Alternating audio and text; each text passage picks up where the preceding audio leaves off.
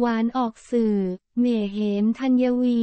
ลงคลิปน่ารักเพื่อนดาราแห่แซว เป็นนักแสดงของเจ็ดสีสำหรับ เมเหมธัญวีชุนหสวัสดิกุล แต่ภายหลังมุ่งมั่นไปเรียนการบินเพื่อจะได้เป็นกัปตันหญิง ล่าสุดลงคลิปหวานกับหวานใจจนเพื่อนดารามาแซวกันอ่านข่าวต่อ แสดงความยินดี เมเหมธัญวี นางเอกช่องเจ็ดเรียนจบปโทแล้วจ้า หลังจากที่โพสต์คลิปลงก็มีทั้งดาราและแฟนคลับมาแซวจำนวนมาก สำหรับแฟนหนุ่มเขาใช้ชื่อในไอจีว่า รัตตานุนวิไลลักษ